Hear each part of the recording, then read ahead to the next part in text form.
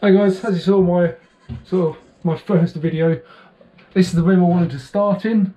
Okay, very soon rapidly drifted into the, the double bunk on the other side. Now the bulkheads are back in, uh, the bed sheet, uh, bed materials are back in. Um, I now want to try and get on and do actually concentrate on getting this room dug out, um, finish removing all the glues, residues, um, old poor repairs here. I'm going to grind it all back to the original material and do it on the outside fresh as it should be. Um, so I've made a half decent start here. I've made a good start, but I've still got plenty more to go. Um, I'm not going to film while I'm doing it because when I get buzzing, grinding, everything I'm doing, it is going to get pretty thick with dust pretty quickly in here. Um, so A, you're not going to see anything, and B, I don't think you want to want to damage the camera. Even I'm pretty sure these little uh, GoPros are bulletproof. Um, yeah, so I'm gonna get set up now. I'll do some buzzing, some grinding, some maybe I've got to do to try and get all this stuff off, and I shall turn back on in a moment. Well, in about half an hour, see how, how I'm progressing when the dust has settled down. Hey guys, so I've done what always happens to me, where I start getting on with something, I get distracted, um, and then I, I do that instead. So the crack that was on my to-do list here, when I had my angle grinder in my hand, I ended up, oh, I'll just chase it out a little bit. So I've chased it out. Uh, so it's about five mil wide all the way down, um, about three, four mil deep. I mixed up a bit of epoxy, um, used some of the um, fibres and stuff to make it into a filler. Hopefully this one's a bit better after my my last attempt at filling. Seems to be the right sort of consistency. Um, I've got some um, peel ply, which I've cut here. This is my first time at doing peel ply type business, so I'll chuck that on there. Um, wish me luck, this is, I say, this is my first time. We'll get better at, um, well, I'll have no choice but to get better at this epoxying business. The amount I'm going to be doing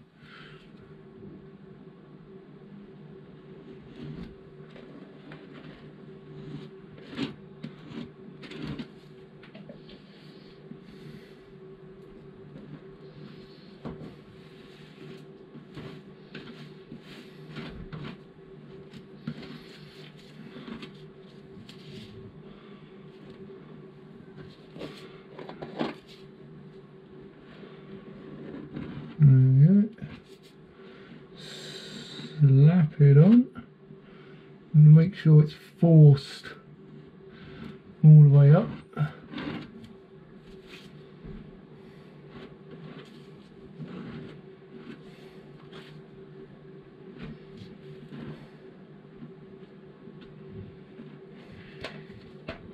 Okay. Then I'm guessing this stuff just pushes on.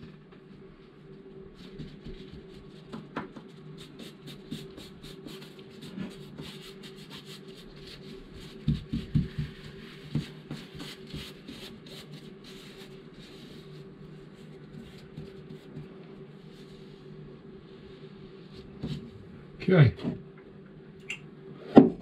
So I've got a lot of faith it'll be fine, but my little leak pot will go there for now just in case. Um, with this last bit of uh, filler I've got left, I'm just going to dump in in and around there and just get rid of it. So I'm turning the camera off now, dive in there, get messy and get some of this uh, filler put in there before it goes off. Hi um, right last video uh, I've done that little bit of epoxy repair when I got ground out inside. Um, chucked that bit of epoxy into the into the groove to see if it stopped the leak that's been happening here for a very long time. Also I dug all this out because it's full of well almost like car filler. Um, and then as a quick fix I'll put some resin over it today if the weather holds out I'm going to try and get some CSM um, fill this in, fill this in properly gel coat it um, you know get it back to a, a, a solid hull again um, so there's a bit of a bit of a pull there which I'm, I'm taking as a good sign. It's holding holding water rather than letting it in. Let's just go and have a look.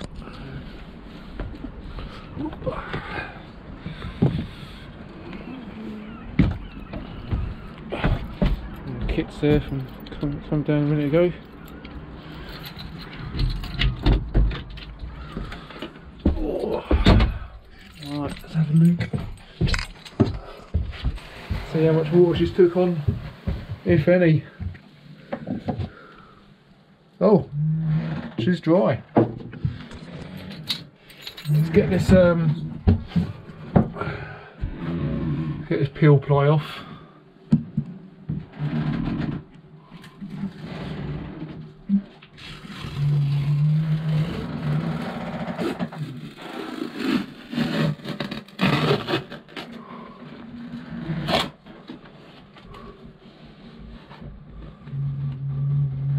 Okay.